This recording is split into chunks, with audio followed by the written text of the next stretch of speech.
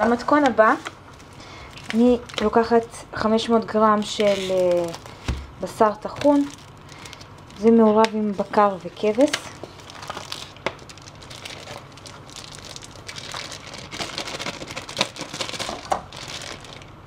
שמה לבפנים את הבצל, שמה קצת עלי פיצוזיליה וכוסברה.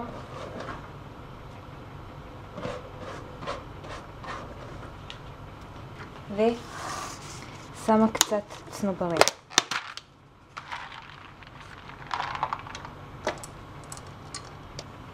מלח ופלפל שחור. לערבב את העיסה. אוסיף קצת פירורי לחם.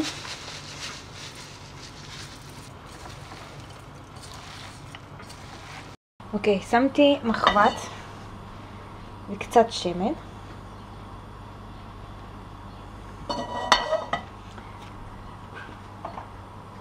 ואני לוקחת את התערובת ושמה את זה בתוך המחבת לטיגון.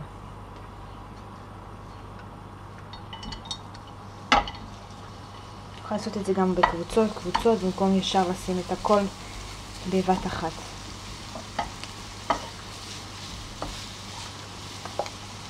אוקיי, אני מטגנת את הבשר עד שהבשר משנה את הגוון שלו לגוון, אה, מגוון חום, מגוון, אה, מגוון האדום שלו לגוון חום.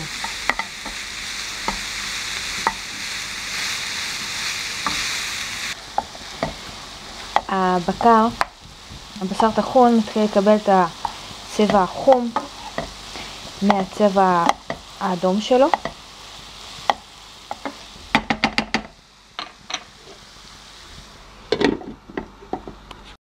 בינתיים לקחתי צלחת אה, עמוקה ורחבה ואני אשים פה קמח ומים ואערבב את זה טוב טוב. יש לי פה את הדף, את התערובת שהכנתי ואת ה...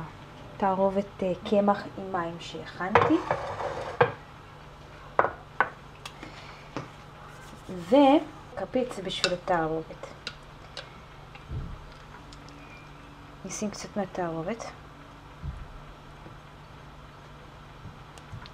שים באמצע.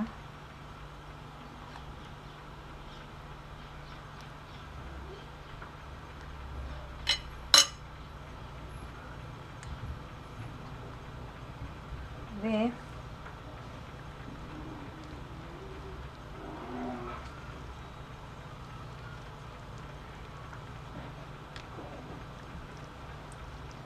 אגלגל אותו.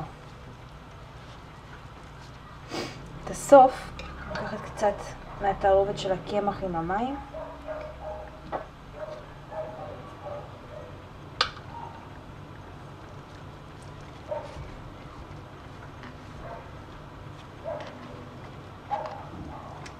אחר כך השלב הבא, אני לוקחת את התערובת של המים ופירורי לחם. את זה אני טובלת בתוך התערובת של הקמח.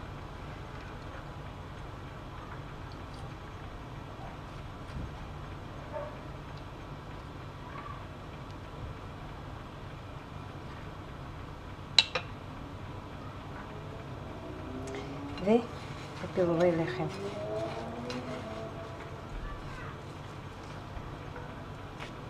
ושמה את זה על תבנית אה, זכוכית או תבנית כסף מרופד בנייר אה, אפייה.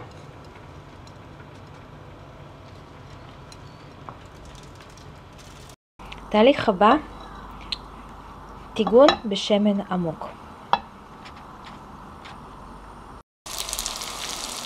אנחנו נתגן שצד אחד יזהיר אנחנו נטגן עד שצד אחד יזהיר ואז אנחנו נהפוך אותו. או שאפשר לטגן בשמן ממש עמוק שזה כבר אה, יזהיב מכל הצדדים.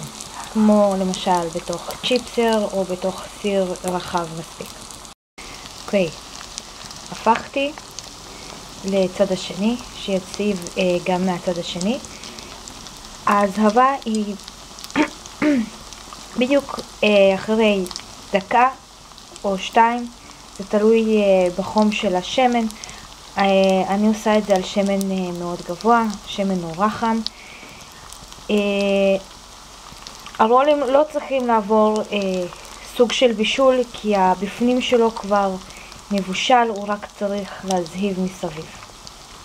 אוקיי, זה הנגלה השנייה, זה הנגלה הראשונה, שמתי גם נייר מעל שיספוג את השמן, וזה הנגלה השנייה.